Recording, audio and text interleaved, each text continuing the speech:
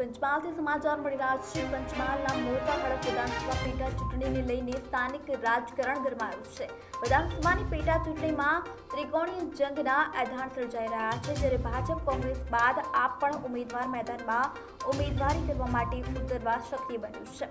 આમ આદમી પાર્ટી દ્વારા પણ બેઠકોનો દોર શરૂ કરાયો છે અને કુંદરા ગામે કાર્યકર સ્વાગત કાર્યક્રમ પણ યોજાયો હતો. જ્યારે કાર્યક્રમમાં ભાજપના સુનિષ્ઠ અગ્રણી સહિત કુલ ત્રણસો જેટલા કાર્યકરો આમ આદમી પાર્ટીમાં જોડાયા છે.